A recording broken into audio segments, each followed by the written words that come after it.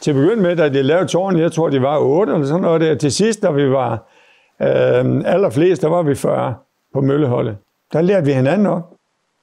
Ja, så øh, det vi ikke kunne. Hvis vi ikke selv havde øh, erfaring for et eller andet, så øh, måtte vi lære os op på en eller anden måde.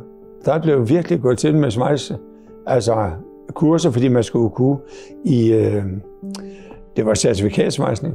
Altså, det var ikke bare et eller andet, vi skulle klare sammen, fordi det skulle simpelthen du.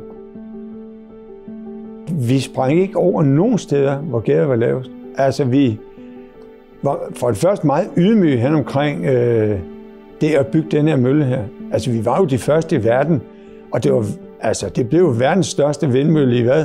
21 år eller sådan noget. Jeg tror først, det var i 99. Der var nogen af dem, der kom op på siden af, af tvindmøllen størrelsesmæssigt.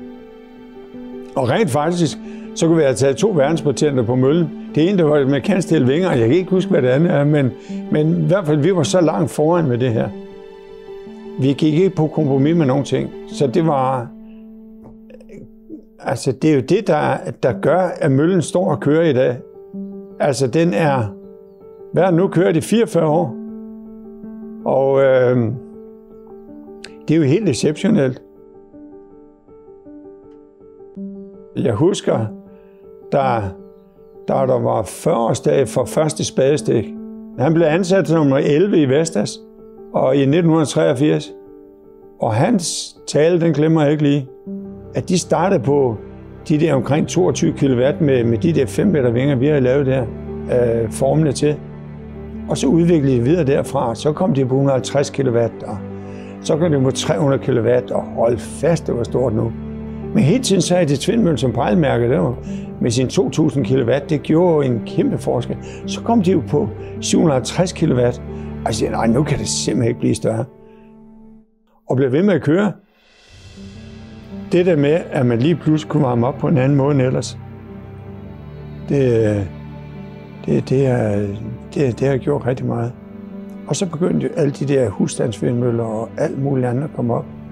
Og jeg kan huske, at vi lavede selv nogle kurser i det hvor vi også prøver nogle andre ting af med, med kursus nede i Svendborg for vindmøllebygger.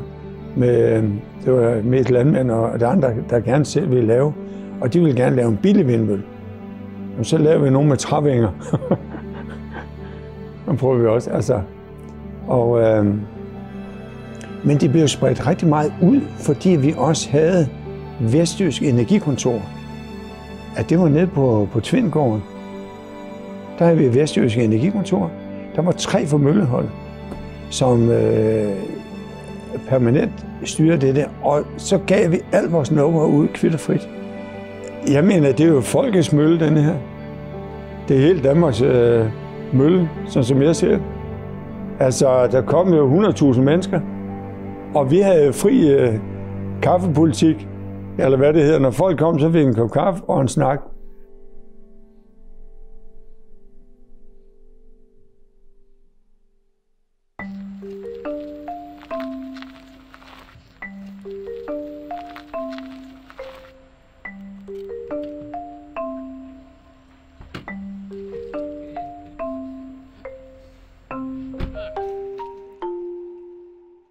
Altså i starten, så var vi faktisk otte øh, til at, at passe møllen. Fordi øh, da mølleholdet tog afsted, så, så var der stadig forskellige småting, som lige skulle, skulle ordnes, og den skulle, den, vi skulle lige finde ud af, hvordan den virkede. Og det tog, det tog også lidt tid, og, og, og, før vi ligesom fik den til, til at køre, øh, som den skulle. Men øh, det, det, øh, der, der var forskellige småting, der lige skulle rettes, og så det, det er jo en prototypemølle. Og det, øh, det betyder sådan set, at, at øh, øh almindelige, hvad skal man sige, almindelige møller, som er bygget på, på fabrikker, de bliver jo produktmodnet, kan man sige, hvor det hele tiden laver, laver nye ting. Og det skulle vi også gøre hen ad vejen jo. Vi har lavet lidt, lidt op på hydrauliksystemet for eksempel, og øh, det, det, det, har jeg, det har jeg stort set fået, fået til at virke, som det, som det nogenlunde skal i hvert fald. Og, men det gør vi faktisk stadigvæk, at, at vi udvikler, når, når der er noget, der går i stykker, så finder vi ud af, hvordan skal vi lave det lidt bedre, så der holder lidt længere. Og vi regner sådan set med, at møllen den, den, skal, den har kørt nu i, i, i 45 år snart, Og den skal, den skal så køre 45 år endnu, det har vi bestemt. Så det, det, det gør vi faktisk nu, at vi, øh, vi øh, opgraderer forskellige systemer, for eksempel hele elektroniksystemet.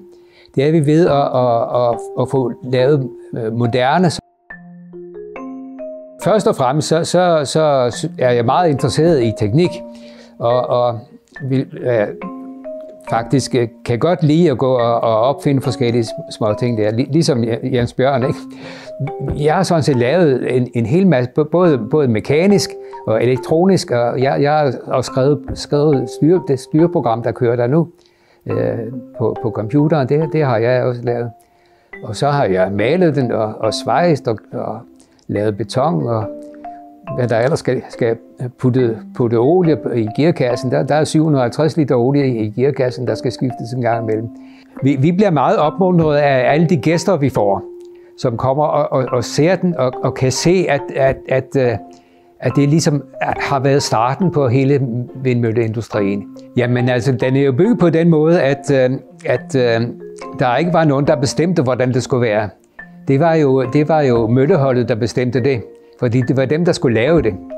Og, og hvis der var nogle ting, som de var i tvivl om, om det kunne holde, så blev de nødt til at, at blive enige om, at, hvordan det skulle være, fordi man kan ikke bygge noget, som man ikke tror på at, at kan holde.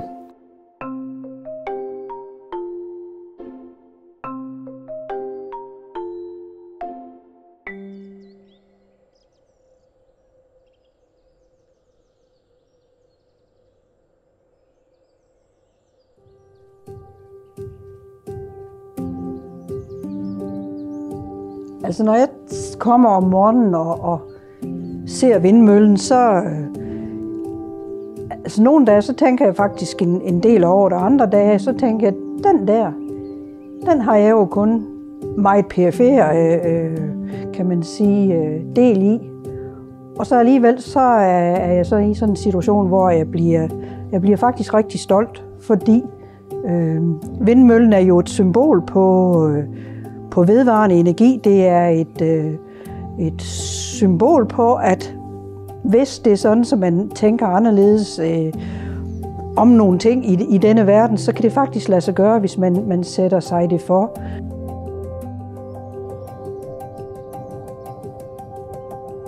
Og vi vil stadigvæk gerne have den til at fortsætte med at leve mange år endnu.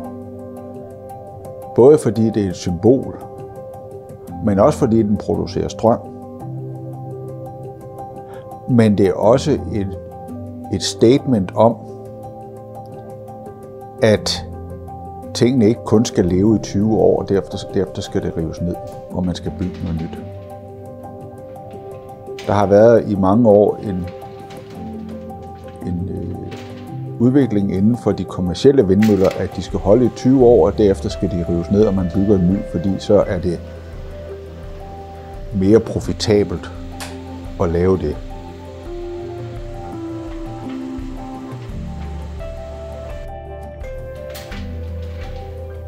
Men tingene kan også godt bygges, og en vindmølle kan godt bygges, så den kan holde i mere end 20 år. Biler kunne også holdes, bygges til at holde mere end 5 år, før det skal skrottes. Det er for meget et spild af ressourcer. Den er ikke et symbol på den nyeste teknologi, men den er et symbol på, at tingene godt kan holde i lang tid.